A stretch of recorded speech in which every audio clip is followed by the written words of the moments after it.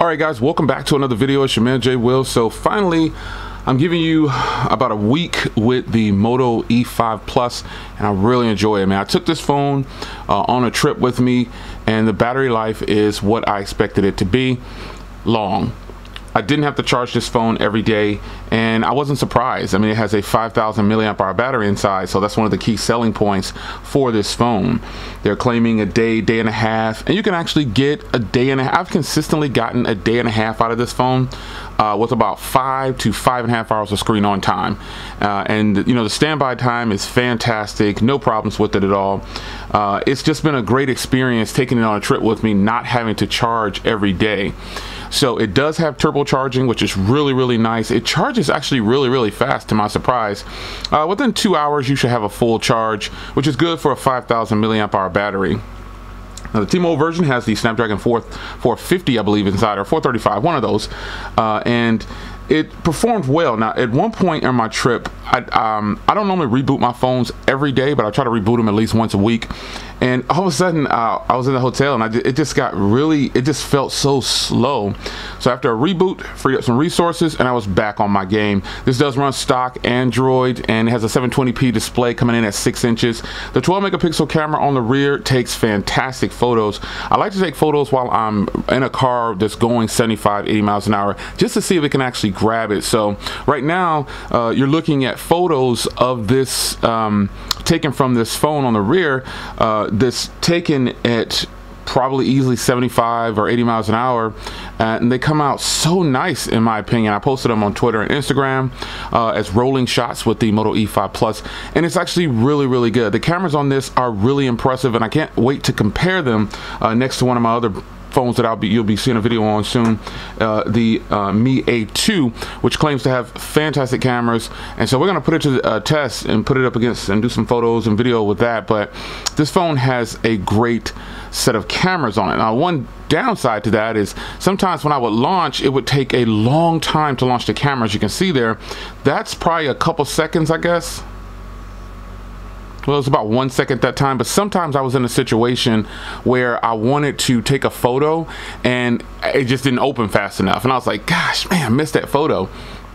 Or if I used the camera icon, it was really much slower than most camera icon um, uh, when you press the camera on something. So let me see if I can demo it for you here. Just a quick press of the button, see which one opens faster. It looks like in that situation, now now I want to demo it for you. It's, it's going to open faster there. But it looks like it opened faster on the um, Mi A2. It, it consistently just, it's not a fast camera to launch. Uh, for some reason, uh, it just doesn't launch the camera really, really fast. Uh, and that was a little frustrating at times. As you can see there, there's a little bit of lag opening the camera. Uh, however, once you get it open, the photos are really, really good. No complaints about that. I'm super happy that uh, the cameras on this are extremely impressive.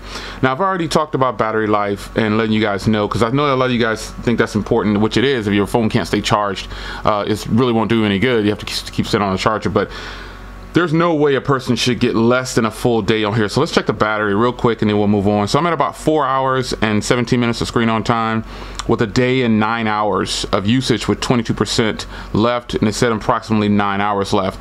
You will consistently get that folks. There's, there's just, I just haven't been able to do it. And if you don't use your phone as heavy as I do, you'll get more than a day and a half.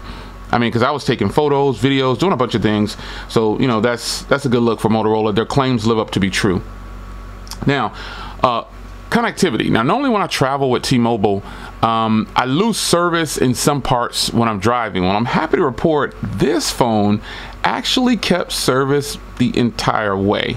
I looked down and it dropped out one time, but it came right back. Uh, and it stayed on 4G LTE the entire trip. And I drove about 2,000 miles, and I was happy to say that I always had service really good. Now, I didn't use it for any kind of GPS or anything because I have GPS in my car.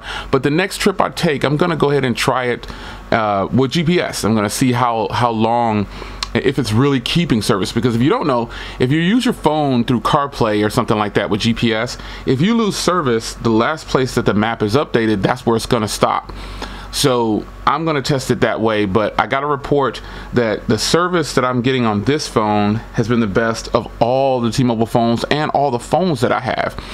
Cell phone service with this phone has been spot on. I really like it and I've been enjoying it. Now, I did take it out of the case a little bit while I was on the trip. You know, I don't want to bang it up or anything like that.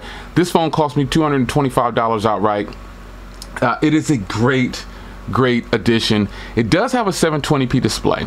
Some people might complain about that, but I'm starting to, to learn that, you know, I, I, I want quad HD displays, I want 1080p displays, but I do say that this should have been a 1080p display, or it could have been, but I know why they didn't, because you know there are other phones now coming out, they have a 1080p display, which I don't know why they would still just not do it, uh, but if this would have been a 1080p display, it wouldn't have made a difference in how I feel about the phone.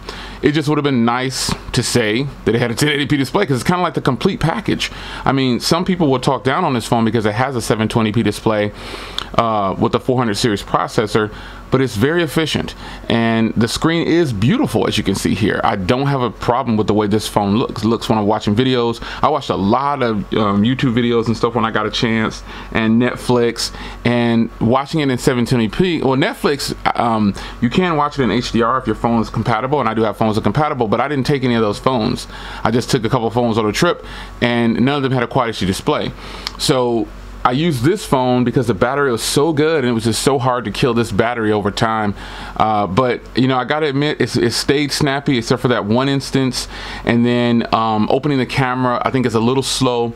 But you know what? This phone makes me accept the fact that I don't need a Quad HD display and I don't even need a 1080p display because when you're watching things in 1080p at 60 FPS or 720 at 60 FPS or 30 frames per second, even 480 is still going to be clear on a small screen. So this is easily uh, a phone that I'm using as a daily driver. And one of the main reasons is that connectivity, the service is so good with this phone because it has all the LTE bands that I need and want. So it's your man Jay Will, Moto E5 Plus has been fantastic for, in the first week and I'm happy to report that I think this is definitely uh, uh, extremely at the um, really at the top of the line for being a budget king. Not the best, but one of them. Six inch display, 18 by 9 ratio, beautiful body. The T-Mobile version has the best color in my opinion. Well, if I can get my hands on that gray one, I think it has a gray, there's a gray version out too. Yeah, flash gray. If I can get my hands on that color, then I'd be able to compare the colors. But as of right now, I like this color much better than black and fine gold. Uh, the uh, mineral blue, I think I said emerald blue one time. The mineral blue is the best color to me until I get my hands on the flash gray. So it's man Jay Will. If you don't have a Moto E5 Plus, you are missing out. I'll see you guys in the next video. Take care.